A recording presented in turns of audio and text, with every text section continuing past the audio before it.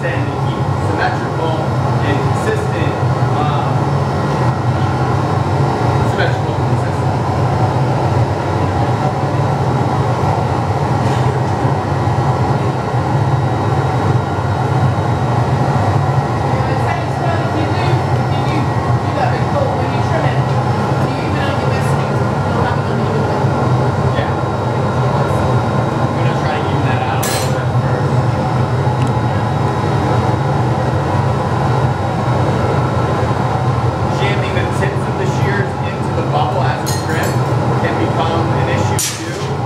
that may mean moving between, you know, a very small trim at the tip, um, if it's a narrower, narrower trim, or, um, you know, being deeper back and something wider. So just be cautious to not jam that tip